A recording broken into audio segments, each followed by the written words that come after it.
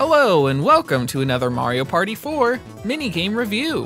When people talk about classic Mario Party minigames, you hear a lot of the same names pop up Bumper Balls, Mushroom Mix Up, Tipsy Tourney, but the one we're here to talk about today is another one you often hear about. It's the free for all minigame Booksquirm. If you compare it to the other classics of the series, it seems to check all the boxes. It's a simple concept that's easy to play and it's hectic in all the right ways.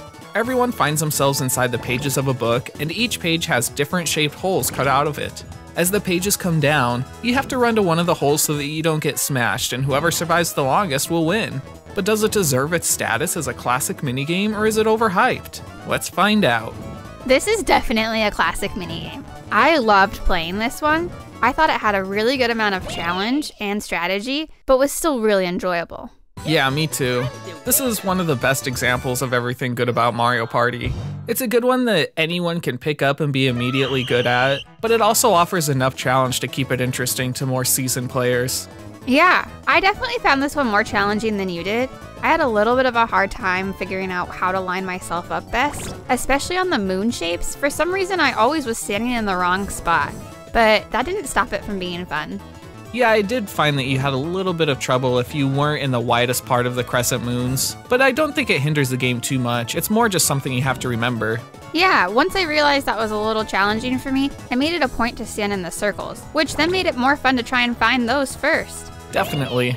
One thing I wonder is if it would be fun to have some sort of like punch maneuver that you could do to other players.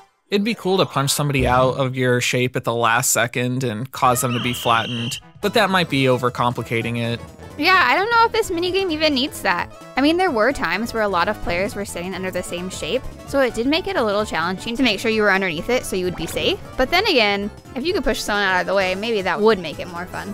Yeah, other than that, there's not a whole lot of bad stuff to say about this one. We had a great time with this one all around, and it's one that we just wanted to keep playing even when we were done filming our footage. And overall, I feel like no matter what kind of mini games you like most in Mario Party, this is going to be towards the top of your list. It's your classic example of a great Mario Party minigame where it's simple to play and leads to a lot of fun times with the people around you. It gets super tense, and every time you die, it just makes you sad. Not because you lost out on the chance to win some coins, but because you don't get to play anymore. That's exactly what you want out of a Mario Party minigame. So I don't think there's any way we can give this any less than 5 out of 5 stars. Woohoo! Yeah, this is definitely a 5 star minigame. Well, that's all we have for you today. If you enjoyed this video, please like, subscribe, and hit the bell. Next up, we'll be reviewing Bowser Bop. Well, let's bop to it.